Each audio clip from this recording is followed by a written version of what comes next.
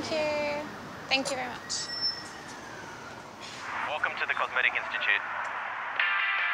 As one of the leading providers for breast augmentation within Australia, we get asked a lot about what happens within our facility. Today, we'd like to show you around.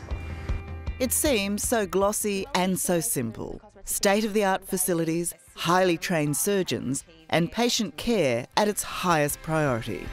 We hope you've enjoyed your insider look into the Cosmetic Institute here in Bondi. We hope to see you soon.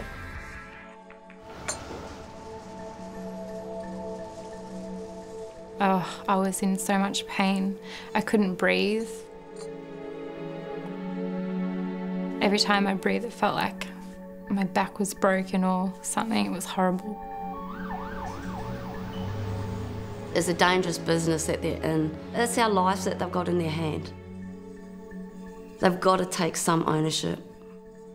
We need to establish a benchmark for qualifications and a benchmark for where these procedures are being done before people die. Welcome to the Cosmetic Institute.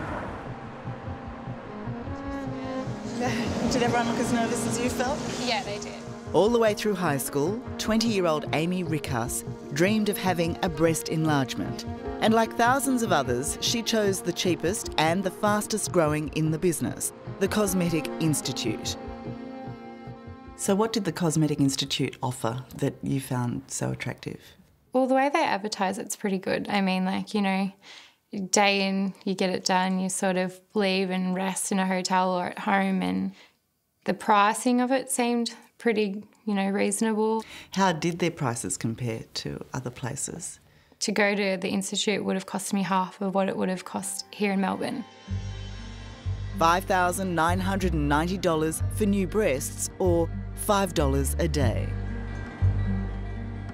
Did they explain to you how they could uh, offer you this surgery at such a cheap price? I think because they said they do the twilight um, anaesthetic, I'm pretty sure that's why, and because it's a day procedure.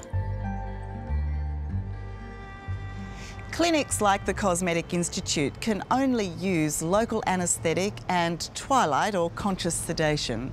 What many don't tell their customers, though, is they're not allowed to use general anaesthetic. Ironically, the lighter sedation allows them to perform major surgeries in what is little more than office space without the costly hospital infrastructure or safety equipment required for a general anaesthetic. Now, I wanted to save a little bit of money as well, so I started Googling cheap boob jobs. I literally Googled that and um, a place came up. The price that I saw was pretty much like, yay, yay, yay. So I started looking at it, I rang up and I liked what I heard. I liked what I saw on the website and I booked myself in for a consultation. Just being around here, it should have been a happy time for me, but unfortunately, this place doesn't bring me happy thoughts. For 38 year old Kylie Pollock, it was all about the price, and that led her to the Cosmetic Institute. And did you have any worries that, you know, if you're going for the cheap option, that you might be taking more risk? No, because they make it sound so good. I wanted boobs, and that's what I was getting. So I didn't worry about anything apart from when my date was, uh, when the surgery was going to happen, and that was it. I was so excited. I was like a little kid in a candy shop, really. Oh, did you think of it as a serious operation? No, not at this stage. I just thought maybe they were going to put me to sleep for a little bit, do a little nip, put something in, and that was it. As easy as that? Just as easy as that.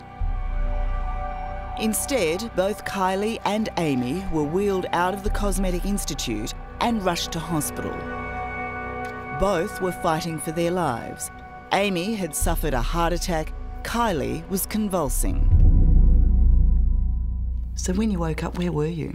When I woke up, I was at the Westmead Hospital. What did the nurse tell you? Um, that I had a complication during surgery and that I went into a VF arrest. And I said, What's a VF arrest? And they said it's all basically a cardiac arrest. And I had to be revived. What was your reaction to hearing that? I cried. It was pretty hard to think that that was myself. To be told that, you know, you nearly died, it's pretty hard to hear. I don't remember. Apparently, I woke up and I looked around and that, and then I started having seizures, and then I got rushed to hospital, and I was still seizuring. What was happening to you? A lot of um, jaw jerking, um, a lot of eye movement. My whole body and head, I was like, I was just shaking and shaking. How lucky is that girl to be alive today? She's very fortunate. Dr. Hugh Bartholomeusz is president of the Australian Society of Plastic Surgeons. He says lives are put at risk by cosmetic clinics because during major surgery, unlicensed to put patients under a general anaesthetic, they sometimes inadvertently use too much local anaesthetic. Local anaesthetics can endanger health basically by being at toxic levels. Uh, also, if local anaesthetic is inadvertently injected into the bloodstream, it can cause toxic effects to the heart. Having now obtained both Kylie and Amy's medical records, there's no doubt that they ended up in hospital fighting for their lives because of a toxic reaction to a large dose of local anaesthetic. The question is, why were they given it in the first place? Again, it comes down to the fact that these cosmetic clinics are not licensed to give general anaesthetic. Instead, they put their patients under a light or conscious sedation and then use local anaesthetic to stop the pain of surgery. It's the overuse of that local anaesthetic that can lead to heart attacks and seizures. Did it worry you at all that you're having such major surgery under a light sedation? Yeah, I did. They said that it was better for your body and like the recovery was quicker. That was their preferred method. You know, that's what they said to me. That was their preferred method of anaesthetic. It's their preferred option because it's their only option. Yeah. They did say, like every surgery, there are small risks, but um, they do it every day.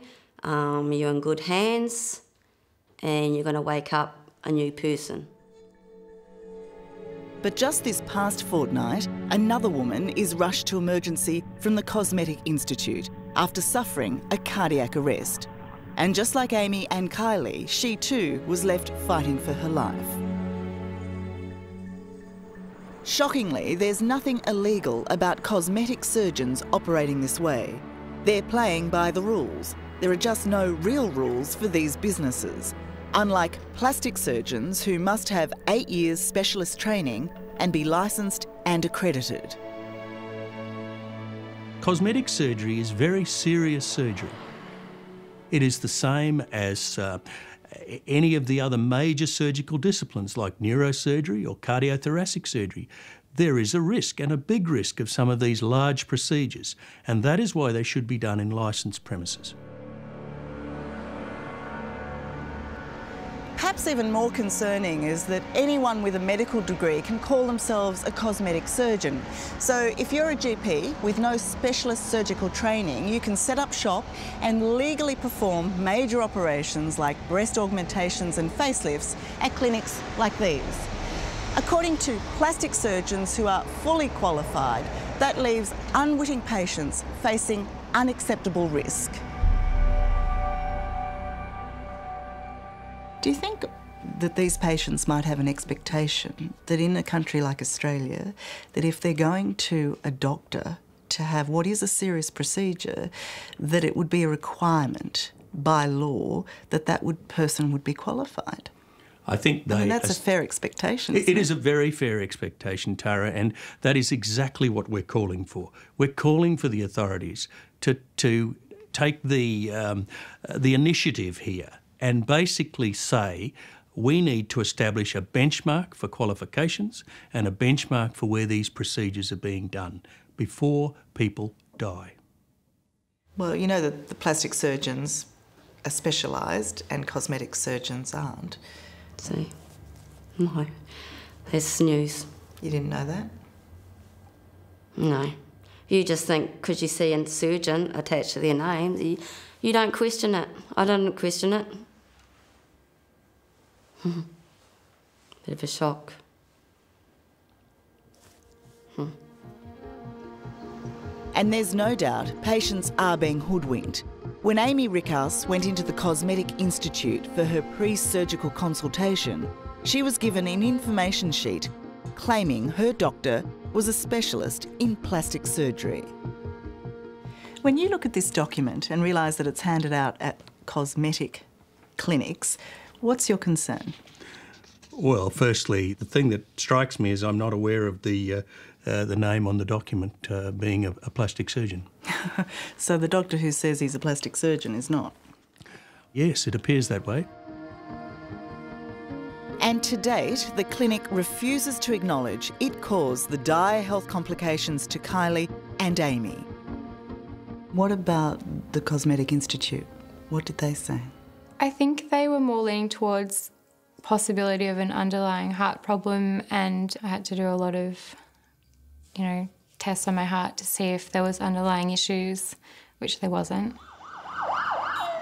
Including Amy and Kylie, in the last 18 months, there have been at least four women rushed to emergency after undergoing breast enlargements at the Cosmetic Institute. The Institute has been reported to the Healthcare Complaints Commission, and in the last two weeks, the New South Wales Health Minister has called in the inspectors. We've asked the Institute for an interview, but they've said no. Are patients' lives at risk by going to somebody who is a cosmetic surgeon, not a plastic surgeon? I think patients' lives are at risk when they go to and are operated on in a facility uh, that's not licensed and accredited where they're receiving intravenous sedation, often without an anaesthetist, by the surgeon who's also acting as the anaesthetist. Conscious sedation can become unconscious sedation very quickly, and loss of airway control can occur. And this is a very, very dangerous situation. Across this billion dollar industry, customers are being sold an enticing promise. Now you're ready for surgery. Enhance yourself through cheap, simple, and safe surgery. But after nearly losing her life, months of health checks, and being unable to drive for six months, Kylie Pollock has paid a price she was never warned of. I got all the bells and whistle talks, you know, you're gonna look this and that, and and of course, because you want it, you buy into it. It's like, yeah, of course. You know, I wanted it so much that I probably didn't. I don't know.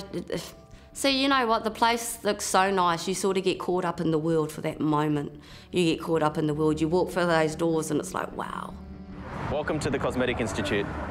It's a dangerous business that they're in. And that's our lives that they've got in their hand. And you know what? Because it's so cheap and they make it look so attractive, the girls will keep on coming. Hello, I'm Tara Brown. Thanks for watching. To keep up with the latest from 60 Minutes Australia, make sure you subscribe to our channel. You can also download the 9Now app for full episodes and other exclusive 60 Minutes content.